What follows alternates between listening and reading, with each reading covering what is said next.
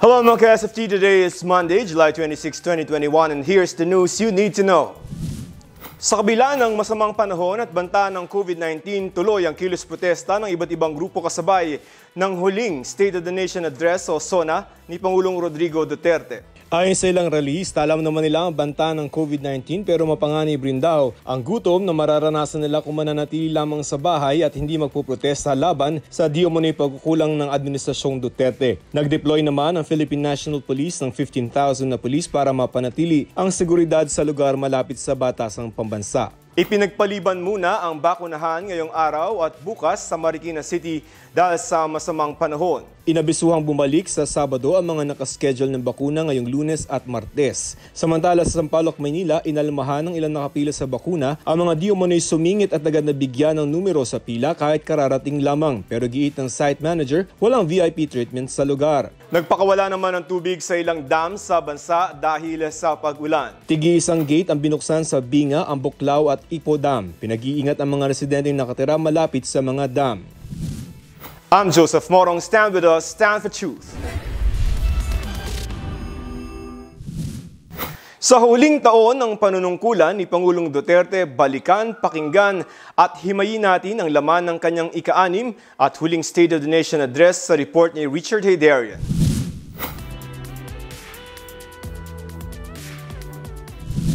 Unang-una, nakita natin dito si Pangulong Duterte.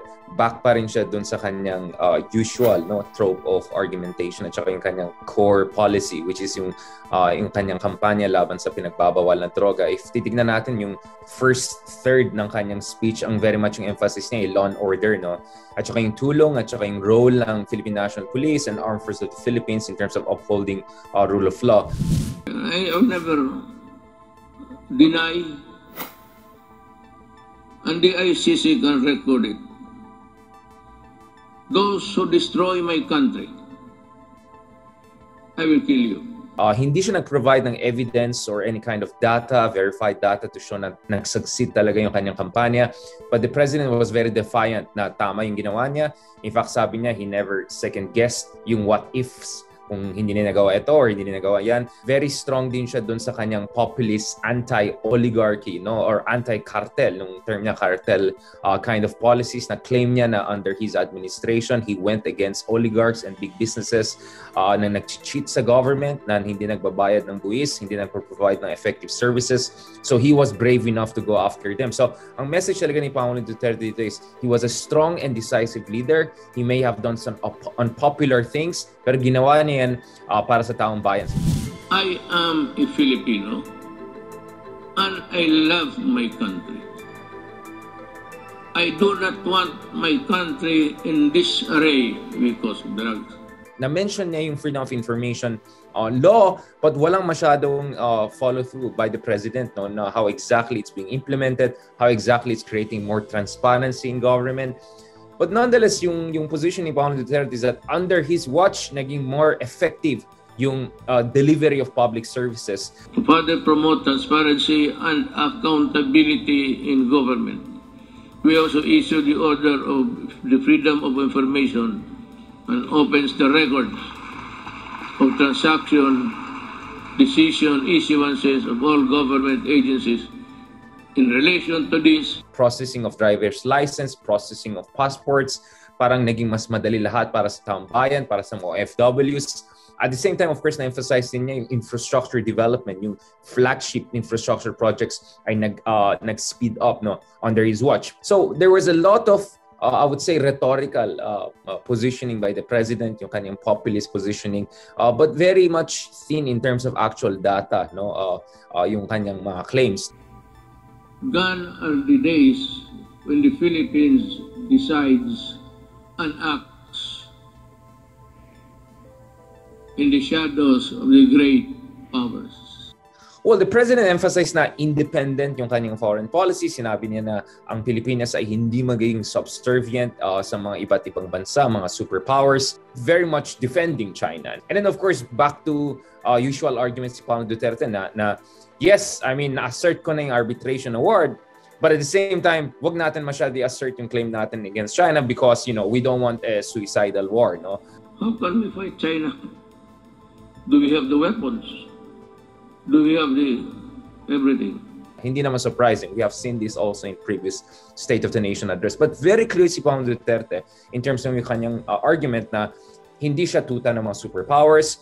Uh, you know, he's friendly with China, but he's still his own sovereign leader. Pagdating sa pandemya, of course, yung argument ni Pangulong Duterte was that everything was going well until nagkaroon ng pandemic. But uh, wag natin kalimutan, yung yung debt natin ay lumalaki over time no under President Duterte even before the pandemic no yung ating growth rate actually was the slowest in 8 years in 2019 before yung pandemic but clearly he did not want to also go into the details ang, ang kanyang position is uh, parang effective naman ang government in terms of management of the pandemic. Nag-provide naman ang government ng uh, social assistance and amelioration measures. I think what he was trying to say is that we are seeing the light at the end of the tunnel but still be very be very careful baka kasi this is a train that is coming and of course in that sense he was uh, he was talking about delta variant so i think that was a very good job by the president to strike a balance I bore no illusions that steering a nation towards a comfortable life for every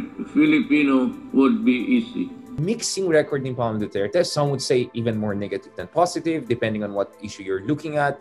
But I think the president has raised some very important issues, has asked very good questions na hopefully uh, masasagutan ng kanyang successors in a more uh, measured, calibrated way that is in accordance to the rule of law, our constitution, and national interest.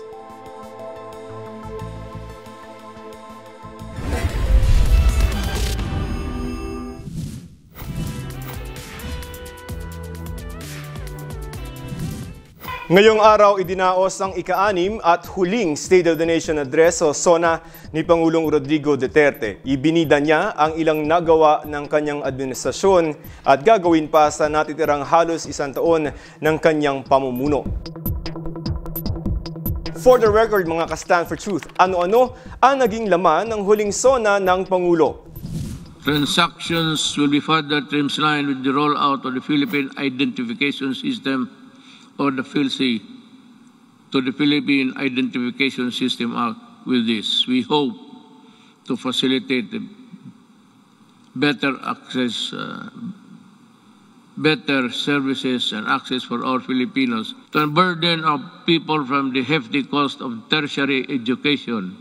My administration worked with Congress to pass a landmark legislation that had remained unpassed for so many years. The Universal Access or Tertiary Education Act in 2017, which provides free education to college students and state universities, was to increase our infrastructure spending to an average of 5% of the country's GDP. This is significantly higher than infrastructure spending of each and past four administrations. MRT-3, with its frequent breakdowns and unloading of passengers mid-rail, was a horror. That was a day that was for the daily commuters to endure in the past. Now, MRT-3 no longer unloads passengers but to their destinations. The waiting time between trains had been significantly reduced to 10 train, trains running at only 30 kilometers per hour before. Now MRT runs 23 tra- trains at 60 kilometers per hour. We have taken away the misery of public commuting. Kung kayong tatanungin mga ka-Stand for Truth, kontento ba kayo sa naging huling SONA ni Pangulong Rodrigo Duterte?